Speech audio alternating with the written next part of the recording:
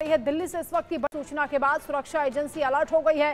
Hotel के आसपास paramilitary force तैनात कर दिया गया है। दिल्ली के पहाड़गंज का मामला है, जहाँ एक होटल में 70 से ज़्यादा पाकिस्तानियों के रुके होने की खबर मिल रही है। ये तस्वीरें आप देखिए, यही वो होटल जहाँ पर पुलिस आपको दिखाई दे रही है। इस वक्त मौके पर मौजूद है और पूरे मामले की जाँच की जा रही की आखिर इतनी बड़ी संख्या में पाकिस्तान सूचना मिली की दिल्ली के पहाड़गंज के एक होटल में सत्तर से ज़्यादा पाकिस्तानी नागरिक रुके हुए हैं।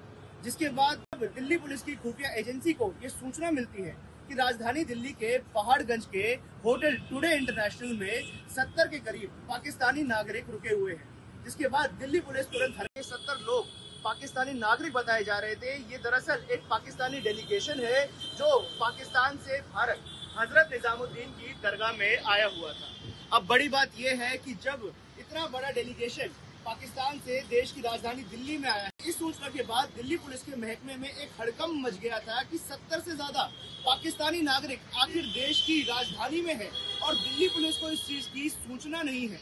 हालाँकि गनीमत ये रही कि जो लोग थे, ये एक डेलीगेशन था, जिसकी वजह से कोई खतरा इनसे नहीं है। लेकिन अगर ये कोई खतरे का निशान होता और 70 पाकिस्तानी नागरिक देश की राजधानी में बिना किसी सूचना के होते तो बहुत बड़ा सवाल है कि डिप्लॉयमेंट देखी जा सकती है।